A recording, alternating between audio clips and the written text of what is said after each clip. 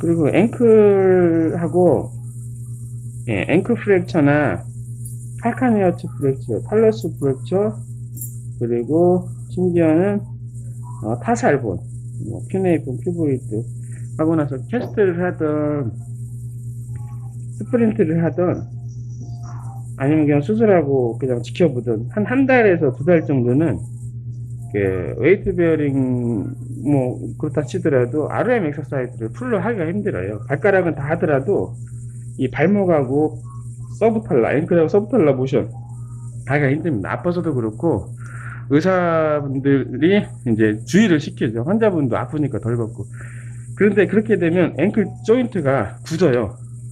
나중에 열심히 ROM exercise 하더라도 100%까지 돌아오는 경우가 좀 드뭅니다. 그래서 메탈 리무브를 할 때 manipulation을 하셔야 돼요. 그 full, full passive가 되게 어, 수술하기 전에 건측 확인해보고 환측 확인해보고 그래서 limitation이 있다 그러면 풀 RM 패시브 풀 RM 엑서사이즈를 하셔야 됩니다. 그래서 plantar flexion 하고 이거는 좀 전에 해서 지금 우두둑 우두둑 소리가 안 나는데요.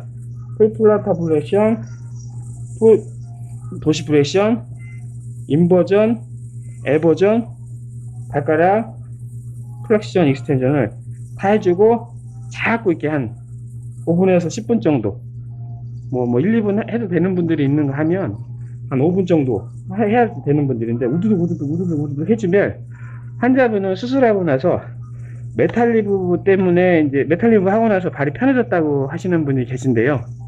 그것도 그거지만 이 수술방에서 full passive ROM exercise manipulation 해주시면 이제 발가락부터 발목 subtalar joint가 움직임이 수술 전하고 확실히 틀립니다. 그러면 수술 전에 하지 뭐 도수 치료도 있고 물리 치료도 있고 한- 하지 왜 안 하냐?